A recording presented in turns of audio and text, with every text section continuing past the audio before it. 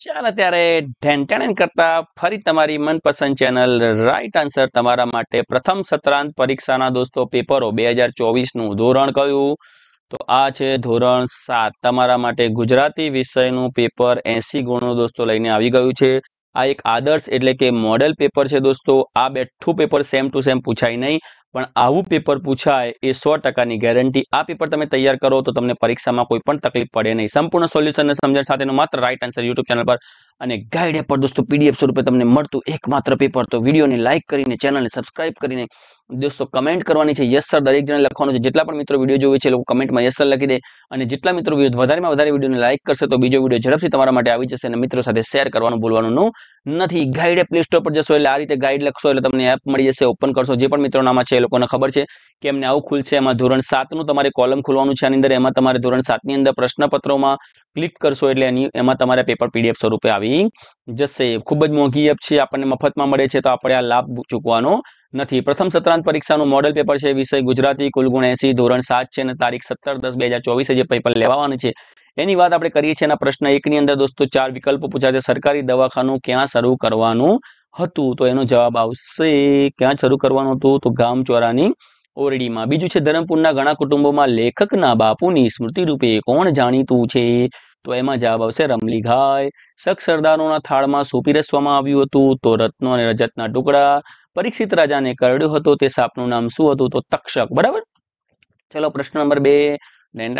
ચાર પ્રશ્નોના જવાબ છે. સાહેબ કેમ એપમાં આપે છે? તમને ખબર છે, ગણિતનું પેપર જોયું હશે અને ખ્યાલ આવી જશે કે શાંતિથી તમે નિરાંતે વિડીયોને સ્ટોપ કરીને જવાબ લખી શકો, વાંચી શકો એના માટે એપમાં છે, કારણ કે અહીંયા ચેનલ ઉપર તમારે વાડી ઘડીએ સ્ટોપ કરવું પડે. જ્યારે એપમાં તમે જેમ નોટમાં લખતા હોય, એમ તમને બધા જવાબો મળી જાય. ચલો, આ પણ ચાર સવાલના જવાબ પણ આપણે એપમાં આપી દઈશું દોસ્તો. લાંબા સવાલના જવાબ છે અહીંયા આપવા રહીએ તો વીડિયો થઈ જાય. લાંબો. ચલો, મારી ગંગાપુર ડોક્ટર તરીકે નિમણૂક થઈ. આ એક નંબરનું વાક્ય બનશે. પછી મેં ગામમાં મારું મન મનાવી લીધું. પછી ભીખા શેઠની મદદથી મારું દવાખાનું ચાલુ થયું અને શેઠનું વર્તન મને આકડાવા લાગ્યું. આ વાર્તાનો ક્રમ થઈ ગયો. પ્રશ્ન નંબર બે, આની વાત કરીએ. પ્રશ્ન નંબર બે, આની વાત કરીએ તો પહેલું છે પૂર્ણ અહિંસા પ્રાણી માત્રને રક્ષણ આપ્યું. આપણે શું ભલું જઈને થઈને ચાલવું જોઈએ? તો આપણે દોસ્તો ભેદ ભૂલી જઈને એક દાંતણ કે દેશું દાળમી ઘર, દાડમી ઘરે આવો ને તો આપણે એનો અર્થ શું થાય? તો દાંતણ કરવા દાડમની કુમળી દાઢી આપીશું. ચલો આ ત્રણે ત્રણ સવાલના જવાબ એપમાં ભાઈઓ. ચલો બહેનો, મારી નાની નાની ડબુડીઓ બહેનો, તમારા માટે પણ મારા ટાઈગરો મારા વાઘ, એમના માટે આ બધા સવાલના જવાબ આપણે એપમાં છે.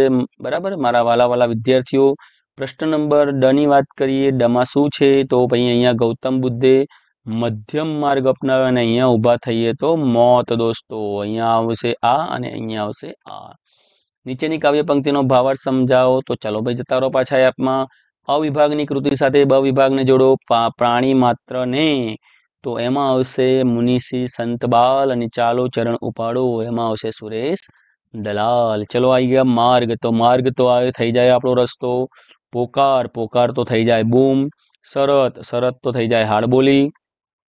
પછી ધમકી. ધમકી તો એનો સામાન્યથી થાય. ચેતવણી. હું તને ચેતવણી આપું છું. એક વસ્તુ ધ્યાન રાખજે. મહેમાન. તો આપણે અતિથિ કરી શકીએ એનું. આ ભૂલ પડી જાય ભાઈ, હો. તમારી બી પડી જાય. ધ્યાન રાખવું. ભીતર ભીતર તો થાય. અંદર. ચલો વિરોધાર્થી, મિથ્યા. તો મિથ્યાનું શું થાય? સાર્થક. મિથ્યા અભિમાન ના કરવું વેડા, તો એનું થાય ક વેડા. બરાબર? માન તો આપણને તો આવડે જ. આ તો બધાએ લખી જ દેવાનું અપમાન. ઝેર તો અમૃત. આ આવડે એવું છે ભાઈ. પાપ તો આ તો આપણને શીખી શીખી મોટા થયા પુણ્ય. ઉત્સાહ તો નિરુત્સાહ ચલો સાચી જોડણી. નિમણૂકની સાચી જોડણી શું થાય? તો નિમ આજે અણુક આમ થશે. પછી વિચિત્ર આમ થશે. પછી છેતરપિંડી છ છત્રીનો છ થઈ જશે અને આ રીતે બનશે. જિંદગી આપણે આ રીતે લખીશું. અરે, આ રીતે પણ લખીશું, પણ સાચી આની આ છે. જિંદગી અને પરીક્ષા.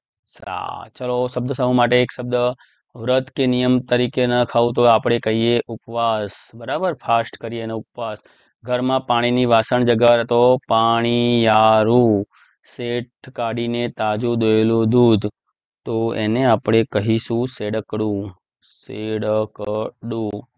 બરાબર? ચલો જ્યારે પહેલો છોકરો શિવાજીનું હાલરડું ગાતો હતો, આમાં સર્વનામ છે પહેલો અને આમાં છે એમના.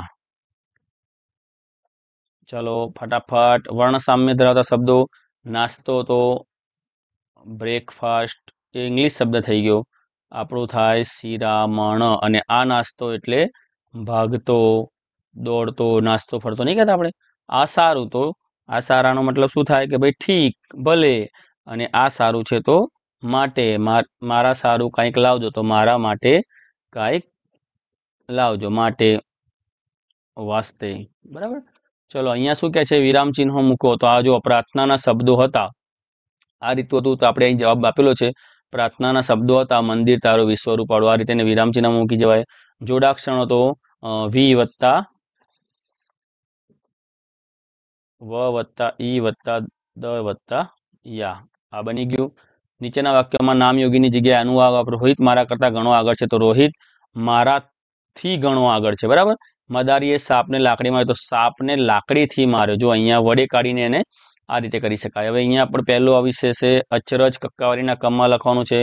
પછી આવશે કુલેર, પછી આવશે દીકરી અને છેલ્લે આવશે વ્રત. ચલો અહીંયા આ વાર્તા આપણે પછી લઈ લઈશું એપમાં અને પછી આ કહેવત પંક્તિનો અર્થ પણ આપણે લઈ લઈશું ભાઈ એપમાં. બરાબર? પછી અહીંયા શું છે? અડધા અડધા થઈ જવું. રૂઢિપ્રયોગનો અર્થ તોમડકાથી ગાંડાથું થઈ જવું. એનો મતલબ આપણે એવું કરી શકીએ છ વર્ષે દીકરો ભણી ગણીને ઘરે આવતા મા બાપ અડધા અડધા થઈ ગયા. પેટ્યું નીકળવું તો ગુજરાન મેળવવું. મોંઘવારીને લીધે આજે ગરીબોનું પેટ્યું નીકળવું પણ મુશ્કેલ થઈ ગયું છે. પગ મેલવા ન દેવું, દાખલ થવા ન દેવું. રામભાઈ એમને દગો કરનાર તમે તમારી રીતે પણ તમારા વાક્યો બનાવી શકો છો. આ તો ખાલી આપણે એક આપેલું છે. તમે જગ્યાએ રામભાઈ જગ્યાએ બીજા કોઈ પણ ભાઈ લઈ શકો છો, વાક્યનો અર્થ બદલી શકો છો. પણ એમાં આ વસ્તુ બદલાવી જોઈએ નહીં. મોં પર વાદળી પથારવી તો શરમ પડે એવી સ્થિતિ થઈ તો મધરાતે આવેલા ચોરને એક નાથે સામે ચાલીને વસ્તુ આપવા માંડી. તેથી બધા ચોરના મોં પર વાદળી પથરાઈ ગઈ. ત્રણ નિબંધ છે. ત્રણમાંથી કોઈ પણ એક નિબંધ તમારે લખવાનો છે. બરાબર? તમને ત્રણે ત્રણ નિબંધો એપમાં મળી જશે. ચાલો ત્યારે સૌને જય હિન્દ, જય ભારત, ટાટા, બાય બાય, આવજો.